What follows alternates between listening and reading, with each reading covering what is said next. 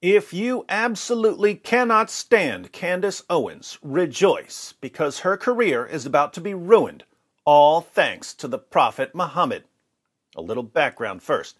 Candace Owens recently got upset again, this time because Harry Styles likes to put on high heels, suspendies, and a bra, just like a lumberjack. And what could be manlier than a lumberjack? But Candace Owens declared war on lumberjacks everywhere when she tweeted, there is no society that can survive without strong men. The East knows this. In the West, the steady feminization of our men at the same time that Marxism is being taught to our children is not a coincidence. It is an outright attack. Bring back manly men. Fortunately for RuPaul fans everywhere, MSNBC stepped in to let everyone know that lumberjacks aren't the only manly men who like to wear dresses. Liz Plank wrote an article titled, Candace Owens mocks Harry Styles for wearing a dress did she forget about Jesus? Liz Plank then gives a list of manly men who were known for wearing dresses. The first dress wearing man on the list is, of course, Jesus. Plank writes, Let's start with a classic manly man. That's right, the King of Kings, Jesus Christ. According to historians, he wore a thin one piece knee length cloth tunic called a chiton, was a common undergarment, should be which was a common undergarment for most men at the time. But because of his focus on income redistribution and helping the poor, another concept known for making Owens gasp, it makes sense. It makes sense.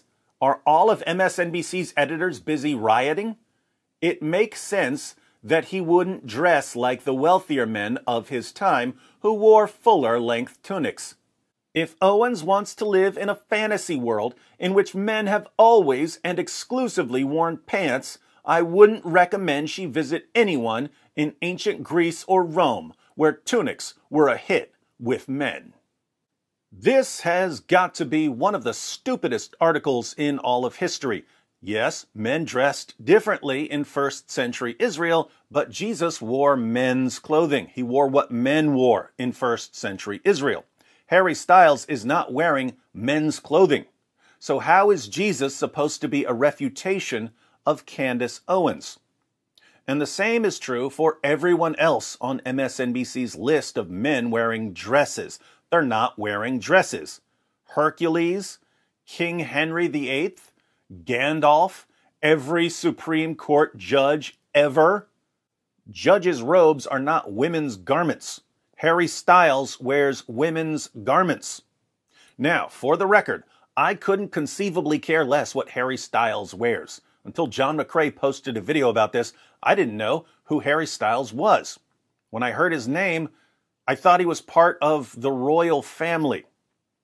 But the point Candace Owens is making isn't that some guy is putting on dresses. It's that the culture is celebrating and promoting the feminization of men. The people responding to her are claiming that there's nothing feminine about prancing around in women's clothing.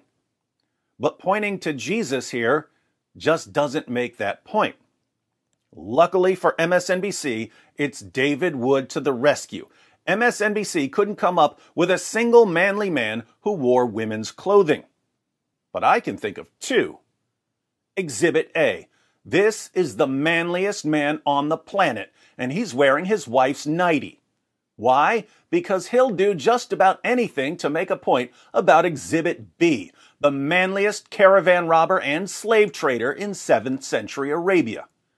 This is Sahih Bukhari, number 2442, in the Aisha Bewley translation.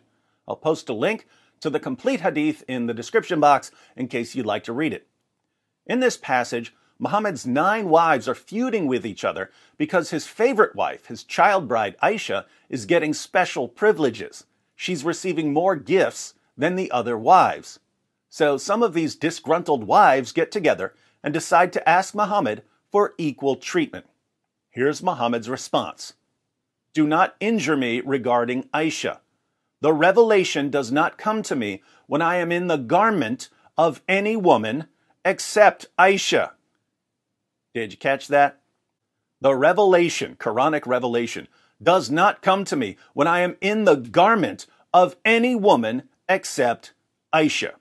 In other words, don't complain about Aisha. Allah gives me revelations when I'm wearing Aisha's garments, but not when I'm wearing your garments. So Allah obviously favors Aisha over the rest of you. Now stop asking for equal treatment. The Muslim sources contain more than 30 references to Muhammad wearing women's clothing. I'll include a link to a bunch of examples in the description box. This narration in Bukhari uses the Arabic word thawb, which is like our word garment in that it can refer to a man's garment or to a woman's garment. But in context, it's the thawb of Aisha that Muhammad is wearing.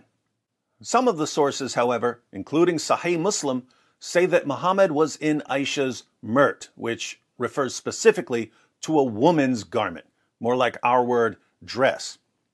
Now think about this. Muhammad had a child bride named Aisha. He had more wives than his own revelations allow. The Quran allows men to marry up to four women and girls. Muhammad had at least nine wives at one time. Muhammad didn't treat his wives equally. Muhammad liked dressing up in women's clothing. He received revelations while he was wearing his child bride's garment. And he used the fact that he received revelations while he was wearing Aisha's garment as justification for giving her a special status over his other wives. So, Muhammad, like Harry Styles, was a cross dresser. But MSNBC won't put Muhammad on the list of men who wore dresses.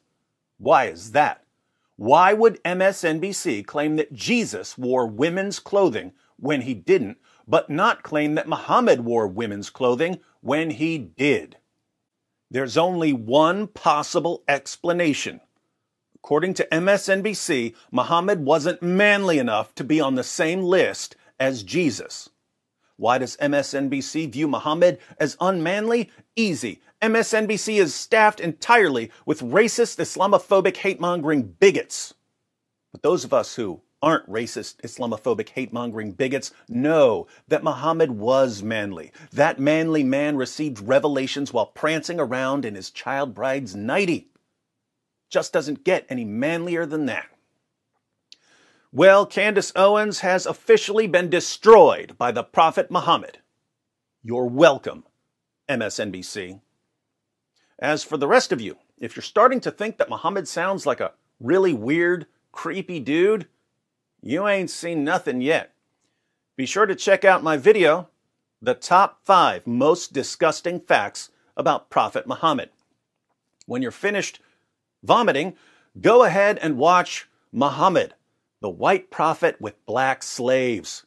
Because let's face it, some of you didn't believe me when I said that Muhammad was a slave trader.